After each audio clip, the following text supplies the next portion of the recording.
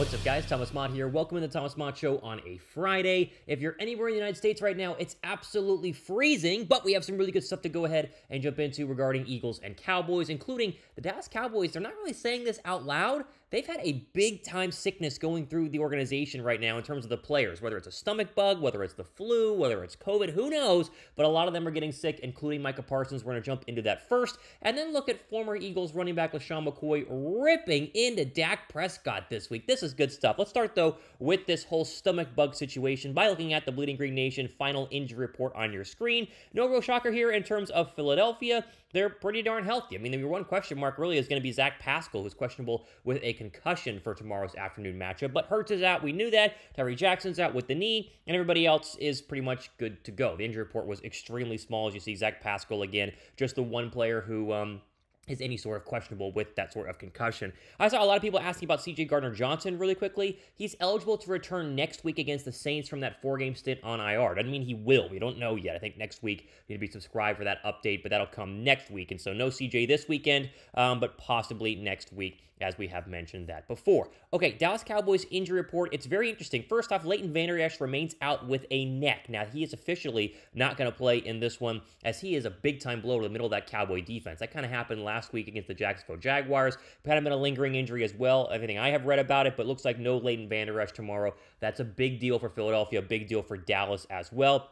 Dorance Armstrong, who's second on the Cowboys in sacks, is questionable. He's been limited this week, but he should be able to go ahead and suit up with that knee injury. And then Jake Ferguson, their tight end, is in concussion protocol as well. He was limited all week. He's their number two, um, but pretty much should be good to go.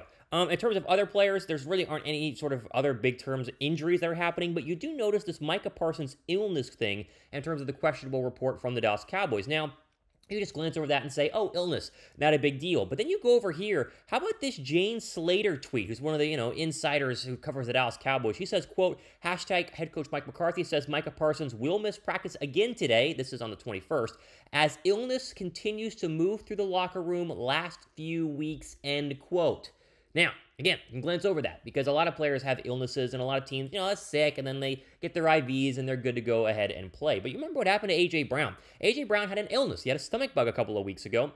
And sure enough, he was throwing up a ton leading into that game and was not himself. Now, he did catch a touchdown pass, but really was not himself a couple of weeks ago. There's a very real case that Micah Parsons might not be 100% for this game on Saturday. Now, all speculation. I could just be stirring the pot for something that might not even be a big deal. But if an illness is going through the Cowboy locker room, they would never tell you how serious it actually is because they don't want to admit that players are throwing up or players are, you know, having severe fatigue or whatever. But keep an eye on this, especially if Dallas starts slow. Because early on in these big football games, the heart rate is really going, the adrenaline's pumping really hard, and you get winded way earlier if you aren't 100%. If Parsons struggles, then you might make this as an excuse, which we're not going to give him any sort of excuses because he ripped Jalen Hurts a couple of weeks ago, but still, it's worth noting an illness has been going through the Cowboys. excuse me, I love it. Illness too, apparently. Uh, illness has been going through the Dallas Cowboys locker room, and it could be a factor for Saturday's game. Uh, excuse me, again, coming up tomorrow.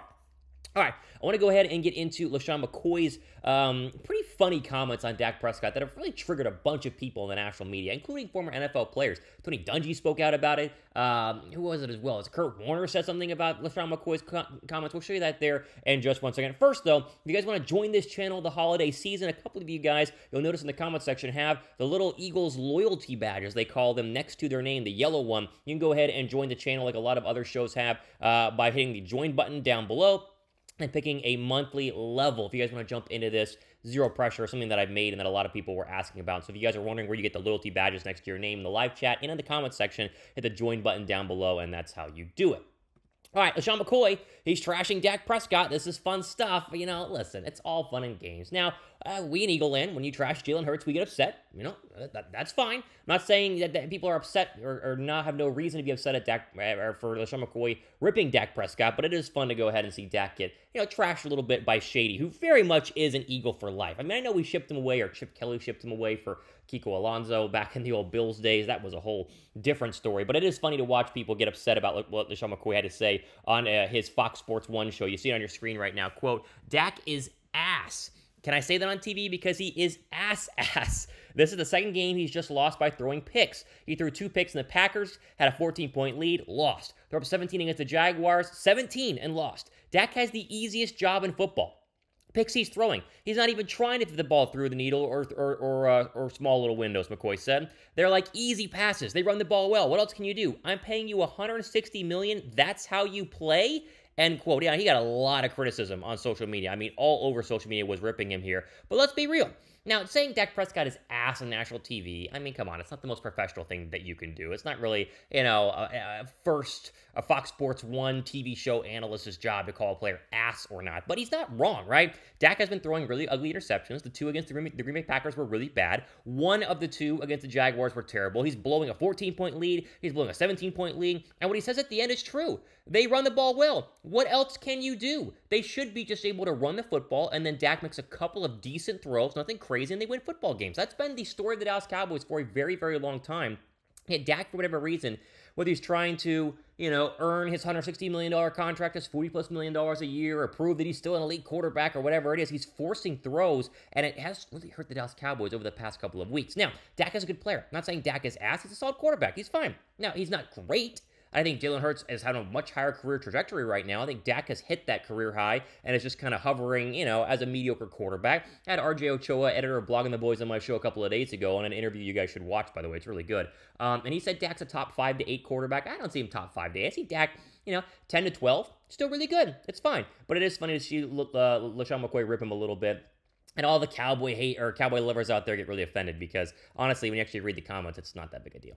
Okay, I want to move over here quickly to one final story before we get into the NFL uh, games of the weekend, our NFL national story here in the Thomas Mott Show. Again, apologize for the location. New location tomorrow. We're going you know, girlfriend's parents' house, my parents' house, all over the place. This is the best lighting I could find in the house, so just bear with me on that. Uh, just close your eyes and listen if you're watching this one on uh, YouTube.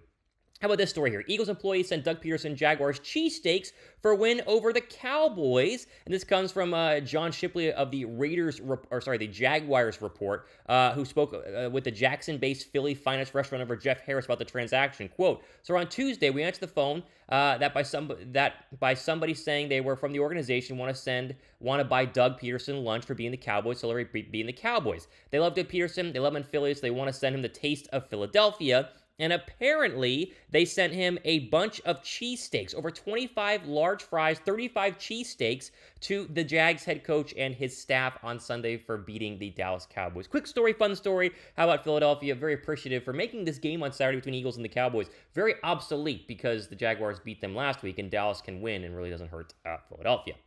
All right, final story here quickly. Thumbs up for, you know, giving Doug Pederson cheesesteaks, by the way. That's some really good stuff. Okay, here are your games happening tomorrow. A lot more games on Saturday instead of Sunday. Three on Sunday, the full slate, the rest on Saturday. A couple of ones that matter, a couple of ones that don't. Bills, Bears, doesn't matter, right? In terms of the NFL national story, Bills trying to stay ahead and uh, you know get back the number one overall seed or keep the number one overall seed. I should say Bears irrelevant. They're trying to lose essentially. We'll see what happens with Justin Fields. But Buffalo on the road, heavy favorites. It's gonna be freezing in not only this game but every single game essentially on Sunday that's not in a dome. So Bills and Bears, they're used to it. Saints Browns, you got to root for the Browns if you're an Eagle fan. Goodness gracious, the Saints winning last week was terrible. Again, 11 degrees on Saturday at First Energy Stadium. This is a nothing burger of a game. The Browns technically are you know not eliminated from the playoffs, but they pretty much are uh, irrelevant. Texans Titans. The Titans are only three point favorites at home against the uh, Texans, who've been really dangerous the past couple of weeks. Think about you know almost beating the Cowboys. They almost beat the Chiefs. The Titans lose this game and Malik Willis is going to be your starter in this one because of the ankle injury to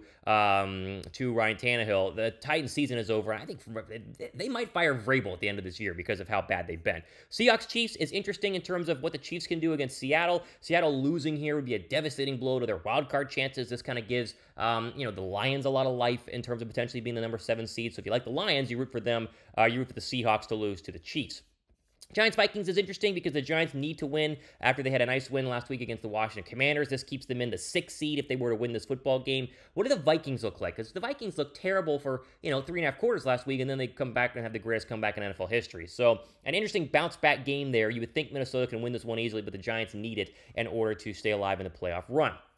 Bengals Patriots is not a big factor for anyone in terms of the Bengals trying to go ahead and get into the playoffs. They're pretty much there. They win. They continue to hold on to their division, but not a big game in terms of like, you know, the one seed because it doesn't look, look like the Bengals are going to get it. Lions Panthers is big for the Lions because they're trying to win, what is it, their seventh in a row? Seven out of the last eight, some crazy number like that. Eight and seven would put them as the seventh seed. And if the Commanders lose to the 49ers, then that bumps them up again to the seventh seed. Ravens Falcons is a snooze fest here. Atlanta will go ahead and tried out their rookie quarterback Desmond Ridder for a second straight week. He was really bad last week in his first game ever, but you know third, third, round draft pick, not a big NFL guy in terms of uh, you know projection at least coming into the NFL. Uh, we'll see what he does against Tyler Huntley, getting another start for the injured Lamar Jackson.